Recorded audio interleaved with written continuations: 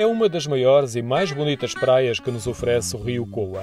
Numa extensão de várias centenas de metros, o rio espraia-se numa área plana. O som dos remoinhos após um dique quebra a serenidade do imenso espelho de água. O rio surge entre lameiros e depois alarga-se entre margens arborizadas e com relva. A beleza, o enquadramento natural e a adaptação para espaço de lazer ajudam a que seja uma das praias fluviais favoritas no Conselho de Sabugal. É pelo menos esta a opinião de Irene Ricardo, que vive em Rapola do Coa. Para mim é de Badamalos.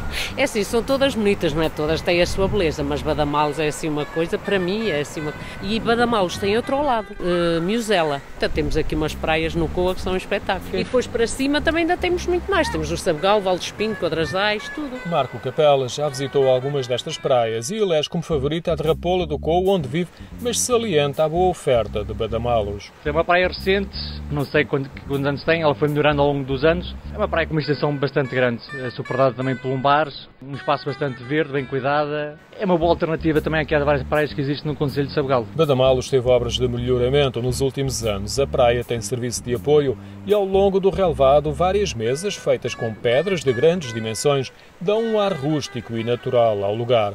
No meio do dique destaca-se uma escada metálica que ajuda quem prefere mergulhar na zona de maior profundidade. Biozela, a praia referida por Irene Ricardo, encontra-se depois da ponte e é já no Conselho de Almeida. Tem um parque de merendas e é vizinha da Estação da Biodiversidade da Miuzela do Coa. As libelinhas fazem parte de algumas das espécies emblemáticas.